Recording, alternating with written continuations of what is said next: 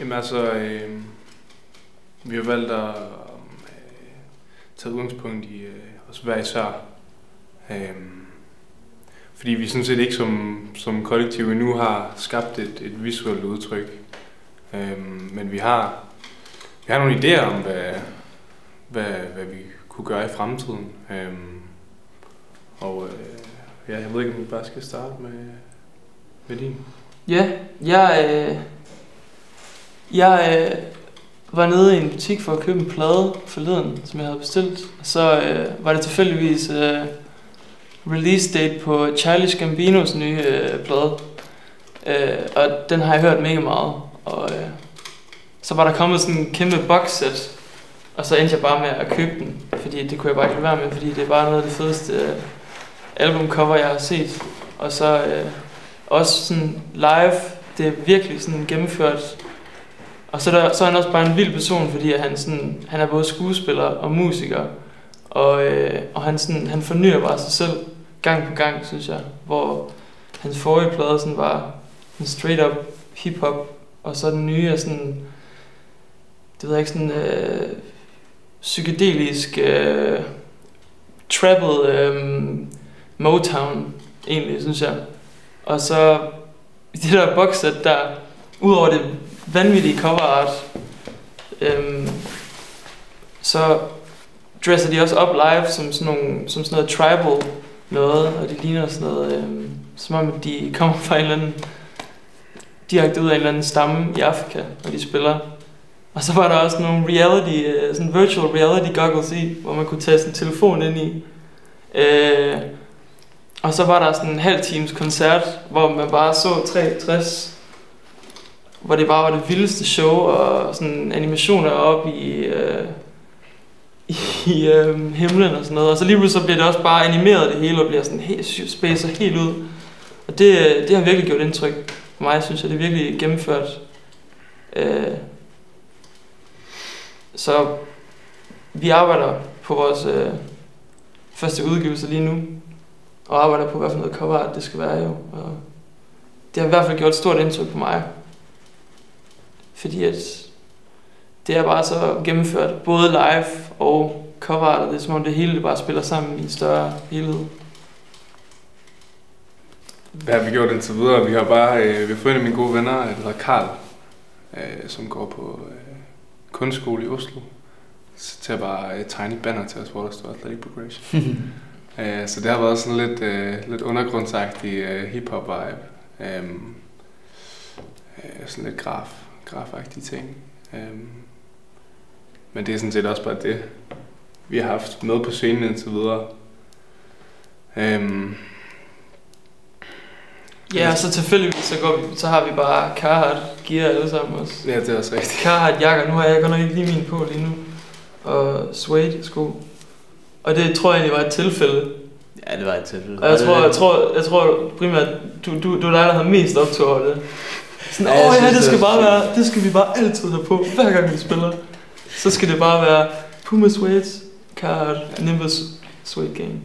Der var også en periode, hvor vi blev kaldt uh, jakkebandet, fordi vi alle sammen, uh, vi alle sammen har skaffet os sådan en her, som just var på sådan en, uh, hvad er det, en bomber, bomberjakke. Det var en pool, Nimbus pullover. Anorak. bruge.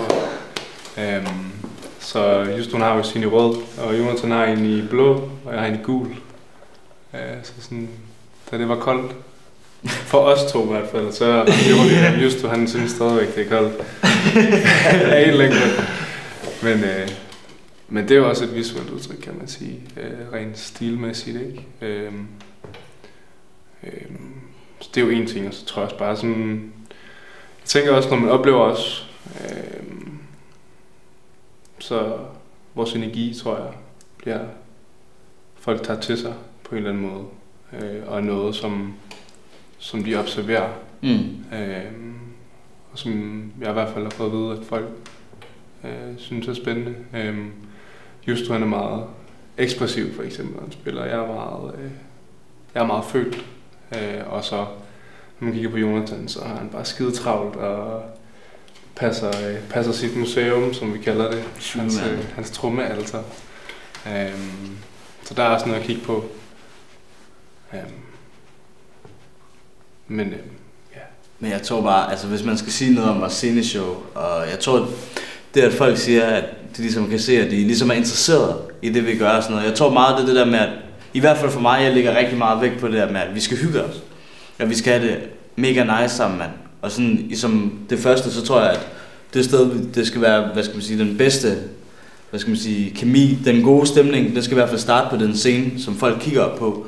Altså også bandet, som spiller. Og det tror jeg ligesom er det, som måske smitter af på folk, og kan se, okay, ham der pianisten, han smiler nu, fordi at han lavede et eller andet lækkert lig, som trommeslager, han lige gav ham den her på. Ikke sådan, altså ligesom, jeg tror meget, det handler om det, sådan, at hvis vi har det nice, så det er også nemmere at give en god energi til folk, mand. Altså hvis man ser et band, hvor folk de bare står, derude, ligesom tændsoldater, bare sådan, så har man, tror jeg bare, i hvert fald har jeg i hvert fald, hvis jeg sidder og ser en koncert, så har jeg svært ved at stå og danse. Fordi at dem, der spiller musikken, de synes, eller ligner ikke, at de synes, de har det fedt. Og det tror jeg bare, altså sådan har jeg det i hvert fald i det her band, jeg har det fucking nice. Hvorfor skal folk så ikke se det, mand? Hvorfor skal folk ikke opleve det, jeg oplever, eller mærke bare en lille smule af det, jeg synes er så fantastisk ved det her band, mand? Mm. Altså, det vil jeg byde alt, alt det gode, jeg har her, mand. Det vil jeg byde alle mennesker, der tænker jeg. Det vil da bare være hyggeligt. Ja. Øhm, jeg har faktisk jeg har taget en, øh, jeg har taget en video med, som, øh, som ikke rigtig har så meget med sådan vores, vores sceneshow at gøre, men er simpelthen noget visuelt, som, øh, som har inspireret mig egentlig før jeg begyndte at spille øh, med de her drenge. Før jeg overhovedet begyndte at, at, sådan, at, at virkelig dykke ned i hiphop. Øh, jeg spillede rigtig meget basketball. Øh, og øh, var rigtig vild med hele den, øh, den vibe, der er omkring, øh, omkring kulturen i basket. Øh, og jeg har haft rigtig meget optur over bare sådan sidde og se, øh, prøv at sætte den på. Jeg har fundet en, øh, bare sådan en top 10 liste med en af mine øh, yndlingsspillere, som hedder Jason Kidd. Øh,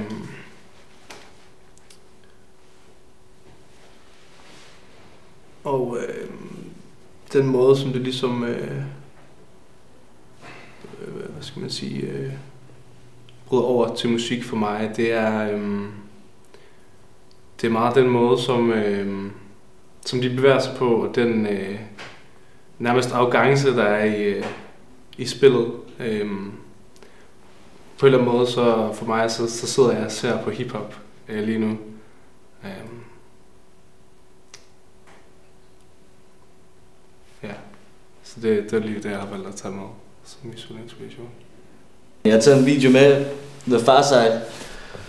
Det er en legendarisk video, mand, til der single drop, hvor at, øh, alting bare kører baglæns, mand, og den video, den er bare så for sindssyg, mand, altså da den kom ud der, mand, og da jeg så den video, mand, der tror jeg bare, du ved ikke, 5-6 år gammel, mand, og jeg var bare sådan, shit, mand, de har bare kæmpe bukser, de har bare kæmpe sko, de har bare kæmpe caps, de har bare, sådan skal jeg også bare være, mand, sådan skal jeg også bare sidde, du ved, sådan, sorte rapper, der bare står der, mand, og bare ser for sig ud, mand, mens musikken bare kører, mand, du ved, rundt i gaden der, mand, og altså jeg tror bare, det er det der med sådan, hvad skal man sige, jeg opdagede ligesom hiphop, og bare ligesom kunne se, okay, mand, altså, man kan ligesom gøre, hvad man vil, mand. Hiphop er, for mig i hvert fald, er hiphop, hvad skal man grine, mand.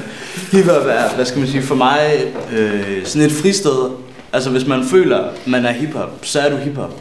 Man skal ikke nødvendigvis gå ned du ved, til den lokale og så købe sig en lederjakke, før man er hiphop. Altså hvis man føler, at man har det nice, man. Jeg vil gerne have nogle hvide sneaks på, jeg vil gerne have nogle blå sneaks på, eller et eller andet så er du hiphop, mand. Og der er så, hvad skal man sige, så mange undergenre af alting, altså hvor jeg bare sådan, hvor jeg bare tror sådan, der følte jeg bare, at jeg ligesom fandt et sted for mig, eller fandt noget, der ligesom, det kunne jeg genkende til, at jeg vil gerne gøre, hvad jeg vil, mand, eller jeg vil gerne hygge mig på en eller anden måde, eller jeg vil gerne tage kappen skævt på, eller et eller andet, selvom der ikke er sol, eller et eller andet, ved, sådan.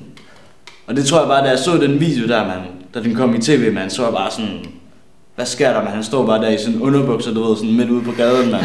Og de står bare og rapper, man. Sådan, det vil jeg også. Jeg gør bare ude i haven med mine underbukser, man. Ikke? Altså sådan, det, det tror jeg bare sådan, ligesom var sådan en fristed, mand. Og bare sådan miljøet omkring det, du ved, rappers og folk, der tegner og danser og DJ'er. Altså der er Mm. noget for alle. Altså sådan, og man behøver ikke nødvendigvis at gøre noget specielt for at være DJ, altså det, eller spille musik eller danse eller sådan. Og det synes jeg bare er helt vildt stærkt.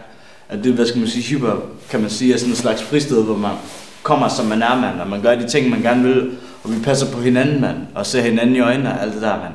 Og det synes jeg bare er stærkt, mand. Og det, jeg tror, det er derfor, man, at jeg spiller med de her drenge, mand, fordi jeg måske sådan føler, at vi har lidt af det som dengang jeg var 6 år, eller hvad fanden jeg var, mand, så, så på tv og bare var sådan, ej, jeg skal have min fars bukser på, mand. Jeg skal have min fars bukser på, et eller andet, sådan. Det tror jeg, mand. Sådan tror jeg også, det er i dag, mand. Jeg tager mine jeans på, eller et eller andet, du ved.